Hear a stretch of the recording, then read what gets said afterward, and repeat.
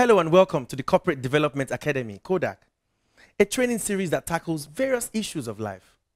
It's our fourth episode. Wow. Thank you for staying with us thus far and all the comments, feedback, and your support. My name is Chibuzo Okechukwu.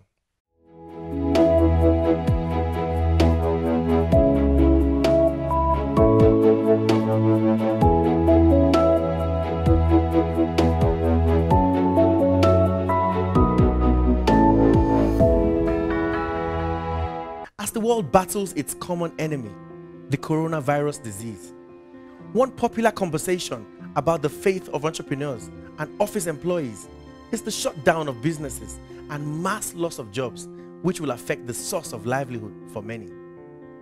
However, one thing that will determine the survival factor or the continuous existence of people is what I'm going to be talking about today. Our topic for today is value. Value is the quantity or level of regard that something or someone is said to deserve. Value is fulfilling the needs of others by providing something of relevance in exchange for money or any other agreed item. Value is significance, its worth, merit, importance, efficacy, effectiveness. Value is benefit.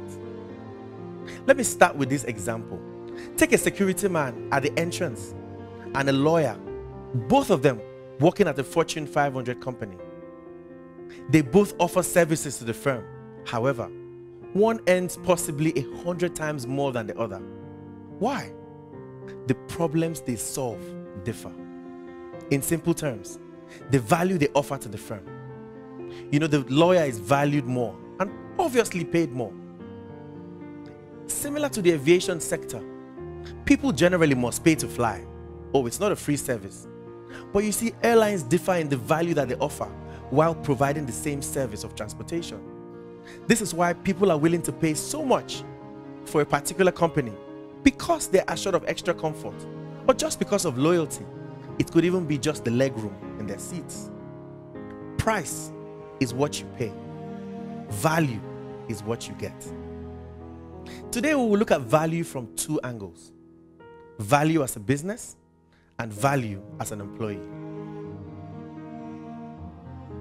The value you provide to your customers or your organization is the reason they will part with whatever that they pay. The service you offer or the job that you do alone will earn you something, definitely for your work done. But the added value you provide is what will make you stand out and remain relevant in the times that we're in now. Let's take the first one value as a business. This speaks of the degree of extra satisfaction that a business provides to its customers in order to stay competitive and preferred. You see, by adding value, a business will do better than its close competition.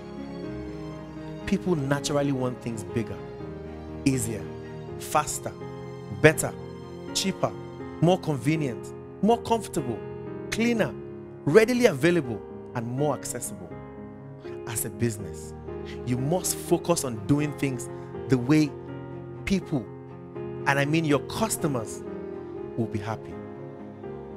So deliver your goods and services faster.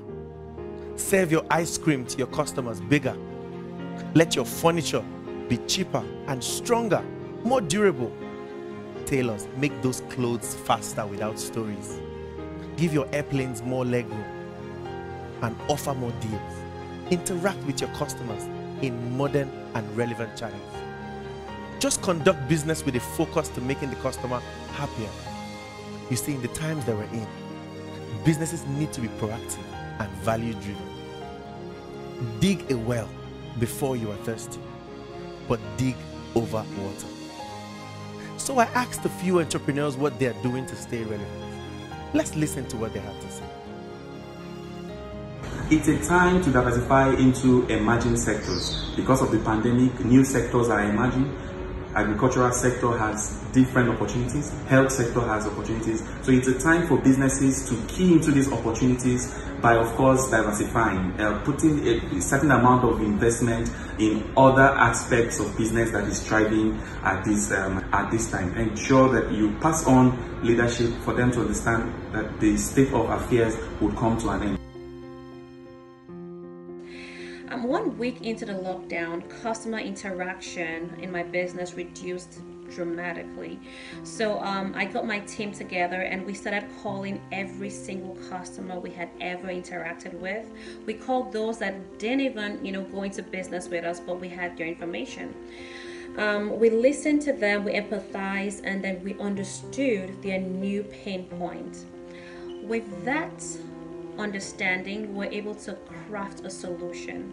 Now, that solution converted to value. And um, because they were willing to pay for that value, my business went on. So I didn't have to stop business. I am not planning on stopping my business. Now, as long as I keep dishing out value, my employees will still get paid.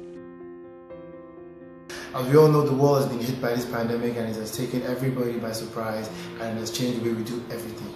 We as a business, we've had to move all our services online and we've moved everything that we do, all our classes kept the same structure, but we moved everything to Instagram. And we've kept engaged all our clients. We've reached out to everybody through WhatsApp messages, through emails, just to keep them active. This is what we had to do. Survival of the most adaptive. Hmm. Wonderful ideas they have. And I trust they'll be doing all the right things to keep you and I as customers interested in them. The second thing we'll be looking at is value as an employee your earning power, the success you have at work, and how far you climb the corporate ladder lies in how much of a problem solver you are. And this simply means how much value you add to your organization. This is what keeps you indispensable. So I'll quickly share some things you should do as an employee. First, understand the organization's vision. Preach it. Know what your company requires of you. Practice it it shows your loyalty to the organization and deliberate action to meeting their standards. Identify your strengths. That's the second one. Look, every one of us is good at something and maybe not so good at other things. But irrespective of your job description, find a way to expose your strengths in line with how relevant it is or it can be to your organization. Another one is take initiative. Step up and be relevant. Now is not the time to lean back. Now is not the time to hide or be reserved. Focus on how you can solve the problems in your company. Let me say this be attentive and get creative. Organizations will only retain those who can add value. Focus on the bottom line. Propose things that will make a difference to the organization. Bring up ideas that make sense. Say things that would drive the company forward. Look, a company wants to see employees that will stand even when the business is facing tough times. And for those of you that are in operations, then you have to be exceptional in everything that you do. Aim to be the best in your duties. It does not matter what it is, value is important. Now, the unfortunate reality is that there will be loss of jobs as a result of what we're going through now. As companies are seeking to adapt to changing times and also to diversify their operations. But some employees will still be retained. It all comes down to value. Let's hear from this other entrepreneur how he plans to manage the situation surrounding his employees.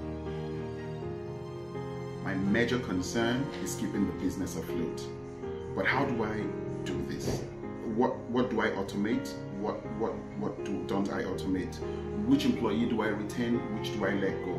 To answer all this all these questions, I ask one simple question: What problem are you as an employee solving for me? And once I answer that question, it's easy for me to make that decision. And what problem you solve for me simply goes down to what value you're adding to the organization and our stakeholders.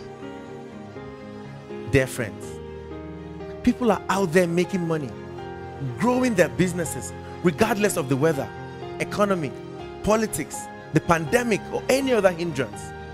Your dreams can earn you money and keep you relevant when you don't only have fans but customers. You must convert your fans into customers by adding value to what you do. Finally, value is not just important, it is the core of our lives, regardless of how you look at it. Even in the Bible, when the fig tree stopped producing, that's when it was no longer valuable. It was cursed. It was made to never be productive again. So get out there and add value. Thank you for watching. Don't forget to interact with us. Please turn on your notifications so you are constantly informed of our posts and subsequent episodes in real time. Now let's make it more specific. Invite at least 100 people to like our page and continue to share the videos with your friends. Thank you for watching and join us again next time. This is CODAC.